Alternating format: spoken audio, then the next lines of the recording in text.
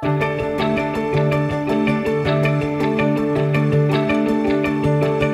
trodde vi at vi kunne dette. Litt etter litt skulle vi få vite